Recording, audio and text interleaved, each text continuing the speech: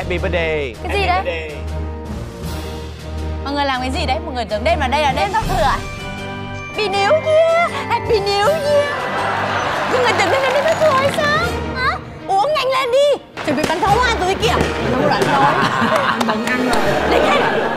sẽ sử dụng món vịt Ừ. em ơi có lòng tự trọng chút đi em cái nước đánh tao dễ sợ luôn á Nhưng mà thực ra, quay đâu, mình cứ ăn cũng được. Đang quay em ơi có lòng tự trọng chút đi em. Chị make up ơi, son của chị Thủy bị trôi. Ngon quá ngon không em. Ngon lắm sao? Ngon sao? Bên đây mà ăn là nhận xét cực kỳ hay luôn.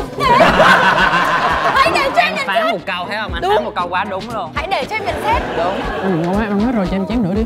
Nữa hả? Dạ. Trời ơi người mẫu ăn như heo vậy? Dạ lâu lâu mới được có dịp ăn mà anh